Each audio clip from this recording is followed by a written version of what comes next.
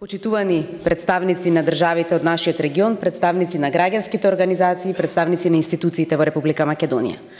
Сметам дека ова е важен настан затоа што може да видиме што во регионот ни се случува и да поразговараме на овој дводневен форум до каде сме стигнале.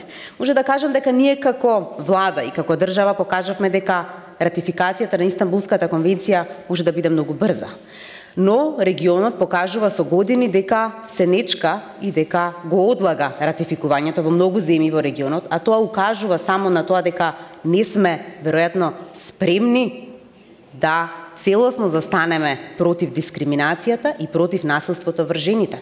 Но тоа се менува и Македонија е пример. Нашиот премиер веднаш даде подршка не само во владината програма, туку и во директно а, под, а, поминување на оваа а, конвенција во владините процедури и секако морам да го поздравам парламентот кој што е ратификуваше истата оваа конвенција. Но доаѓа тешкиот период, а тоа е имплементација. И тоа е најголемата заложба која што може да ја дадеме кога ќе покажеме дека на вистина сите оценки на комисиите кои што ќе ја следат имплементацијата на нашата конвенција на оваа конвенција во Република Македонија ќе бидат позитивни.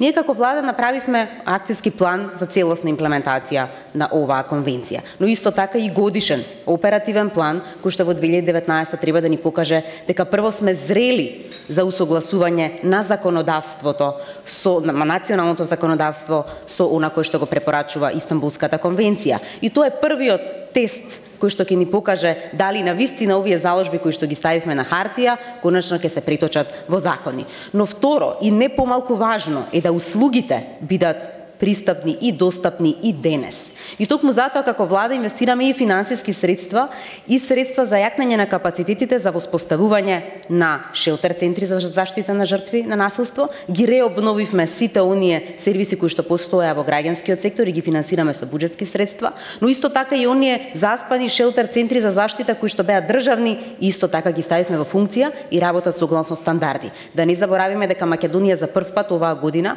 отвори и три регионални центри за сексуално насилство за превенција и заштита од сексуално насилство и силување и еден шелтер центар само за жртви кои што се на сексуално насилство и силување. И ова покажува дека заложбата не останува на хартија, туку дека во пракса обезбедуваме еден систем или круг на заштита на жртвите на насилство.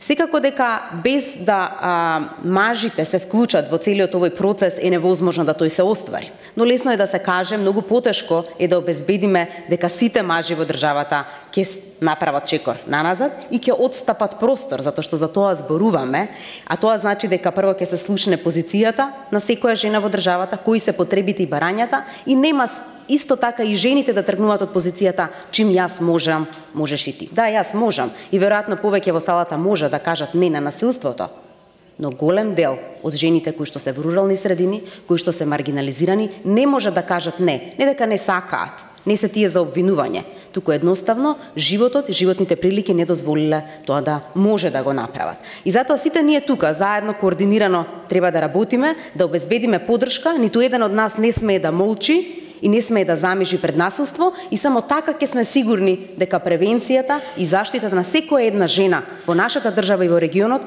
конечно ќе стане минато. Ви благодарам многу и посакувам дводневен успешен форум. Благодарам.